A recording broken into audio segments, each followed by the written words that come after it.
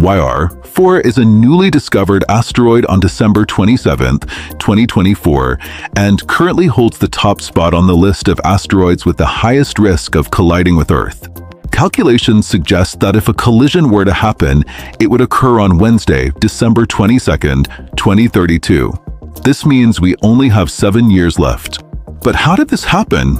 How did we miss such a dangerous object? And could this asteroid really end life on Earth, or is this just media exaggeration? Let's find out. The inner and outer solar system is filled with asteroids.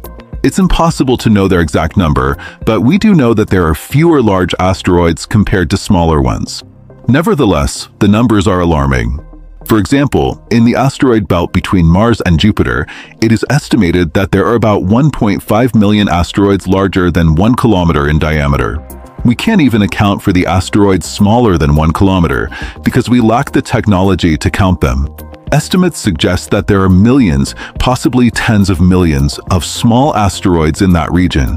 For comparison, consider this. About 66 million years ago, an asteroid with a diameter of around 10 kilometers struck Earth, wiping out nearly all species, including all the dinosaurs except for birds and 75% of all life forms at that time.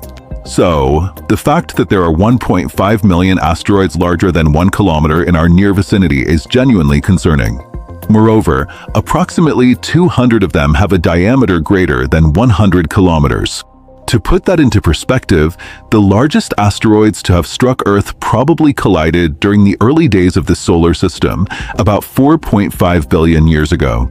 Back then, the solar system was much more chaotic. In fact, during that period, it's believed that Theia, a Mars-sized protoplanet, collided with Earth, launching material into orbit that later formed the Moon.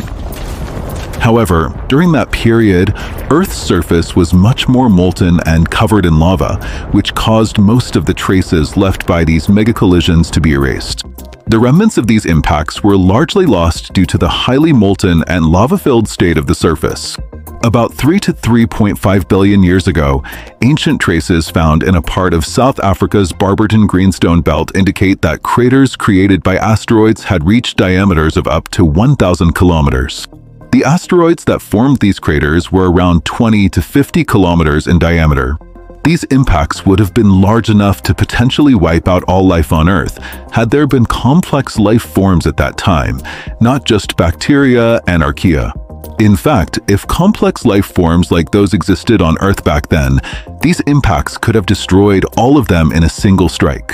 And just beyond Mars, there are about 200 asteroids that are more than twice the size of those we've just mentioned. But as I previously mentioned and as this graph shows, fortunately, the larger an asteroid is, the less likely it is to be in space, and consequently, the lower the chance of it colliding with Earth. For example, starting with the smaller ones, asteroids smaller than 1 meter in diameter fall to Earth daily, with dozens of them entering the atmosphere. While these small asteroids are numerous, their total mass can exceed 100 tons per day not a small amount.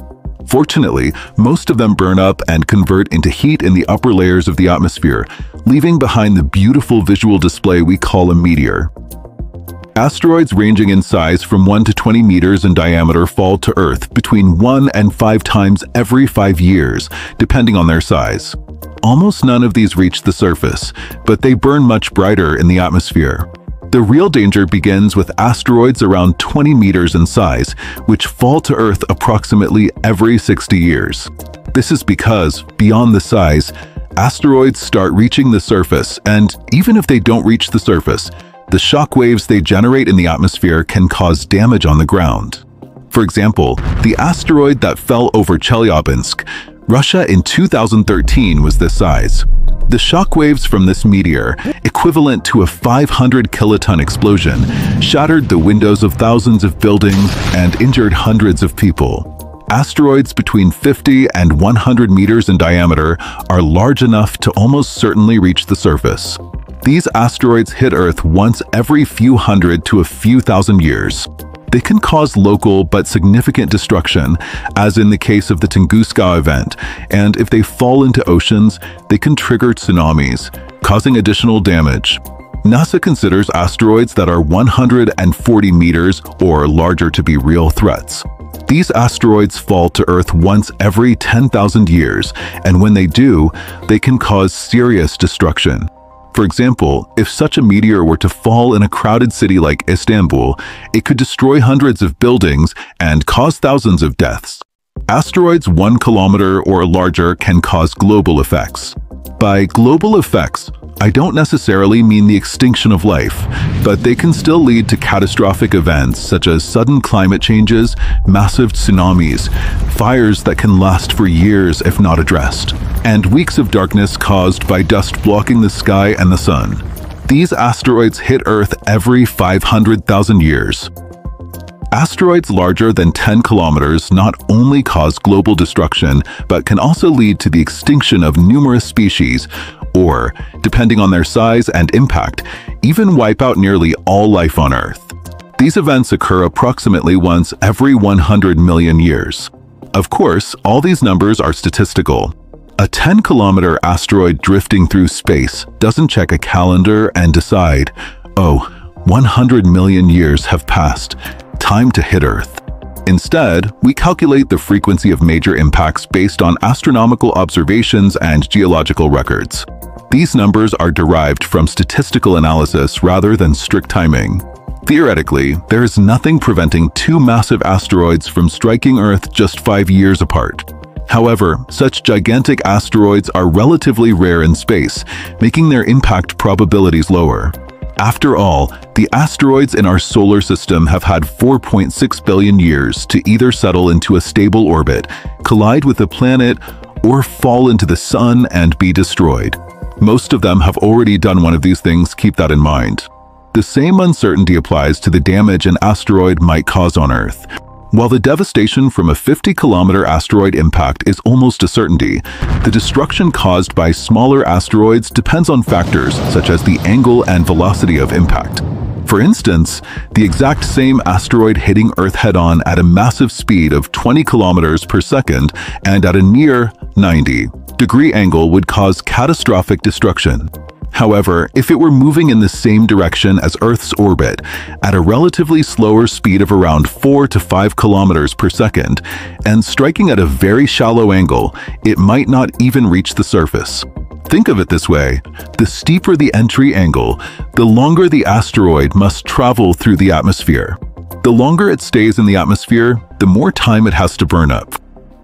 So, we condense all these different risk probabilities into a single number, Experts and governments use a scale called the Torino scale to assess impact hazards. This unusual graph has kinetic energy on the vertical axis, representing the energy an asteroid would release upon impact, regardless of its speed or angle.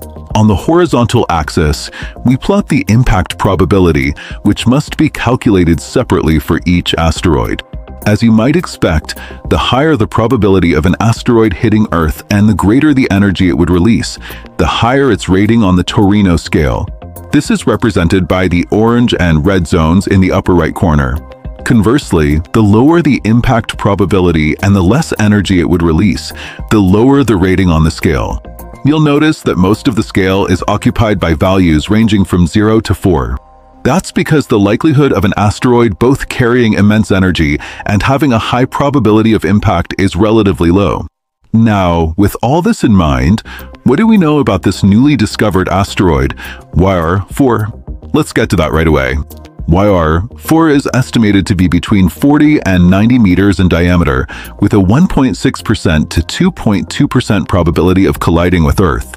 These uncertain numbers might surprise you, but that's precisely the key takeaway from this video. Look, this is what an asteroid looks like through our telescopes. Or, if I stabilize the background, it appears like this. Now, try calculating its diameter and trajectory. The videos I just showed are compiled from observations spanning several days or even weeks. And we only just discovered this asteroid on December 27th, 2024, thanks to astronomers in Chile. That means only about a month and a half has passed since its discovery. And what does that mean? This means that we only know a one and a half month segment of this asteroid's orbit. Of course, by analyzing just a short portion of its much longer orbit and applying orbital mechanics, we can estimate the full trajectory of an asteroid that we know is orbiting the Sun. For example, we already know that YR-4 completes one full orbit around the Sun in approximately 3.99 Earth years, and that its orbital inclination relative to Earth's is 3.41 degrees. However, these are still estimates, and the margin of error is not yet close enough to zero. Most of the time, when a new celestial object is discovered, we need to observe at least one full orbit to accurately determine how it is influenced by various gravitational forces along its path.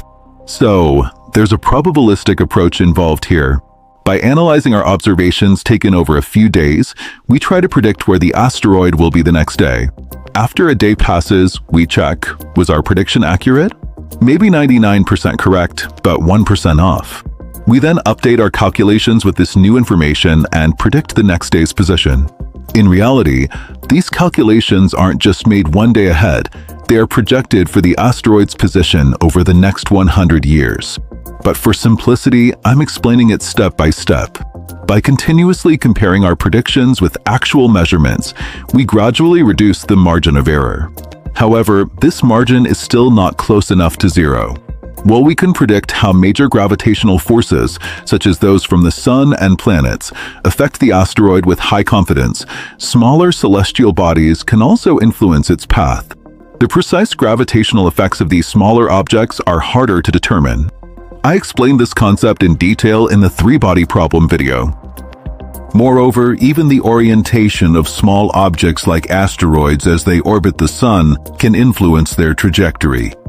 The amount of gas and dust that may be released from their surface depends on which side is facing the sun, which in turn can slightly alter their orbit.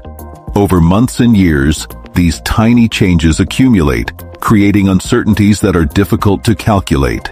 This is why when analyzing YR4, we can only estimate probabilistically whether its orbit will intersect with Earth's, and if so, on what exact date. Current calculations suggest that YR4 and Earth's paths may intersect on Wednesday, December 22, 2032, with an impact probability of 2.2%. Here's a graphical representation. Each yellow dot represents a possible trajectory YR4 could take on December 22, 2032. Notice that only a few of these yellow dots overlap with Earth at the center. That overlap ratio corresponds to the 2.2% probability. However, periodic recalculations could increase or decrease this percentage, just to be clear. Similarly, YR4's exact size can only be determined more accurately once multiple telescopes observe it from different angles and precise measurements are made. The bad news is that we've just discovered this asteroid, but between April this year and June 2028, it will be too far away for ground-based optical telescopes to observe it. Fortunately, infrared telescopes will still be able to track it, allowing us to continue monitoring its trajectory. That said, by the time I publish this video and you watch it, the numbers I mentioned may have already changed. Now, to better understand the risk, let's go back to the Torino scale. A 2.2% probability falls within the 0.01 to 0.99 range, which corresponds to this section of the scale. And with a size between 40 and 90 meters, it falls within this vertical range.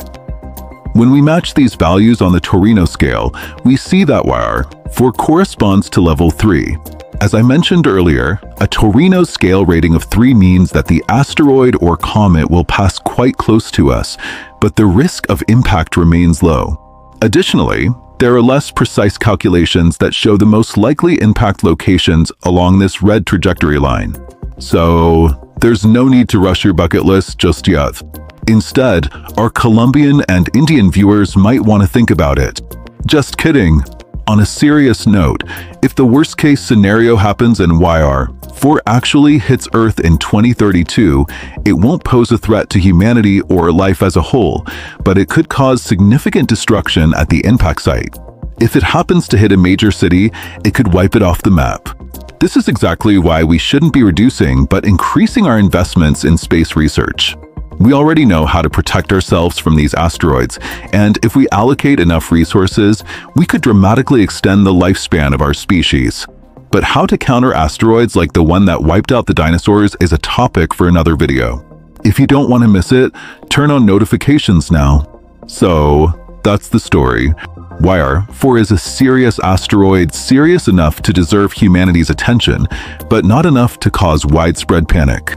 For now, based on what we know, it could cause a Chelyabinsk-like event, a smaller but frightening disaster, or even carve out a one-kilometer wide crater like the famous Barringer crater in Arizona, wiping out everything at the impact site people, animals, plants, and cities alike. Over the coming months and years, our observations will determine the asteroid's mass, composition, and trajectory more precisely. If any critical discoveries are made, I'll be here to keep you updated. If you enjoyed this video, I highly recommend watching my in-depth look at the final moments of the dinosaurs. See you in the next video. Take care and don't forget to look up.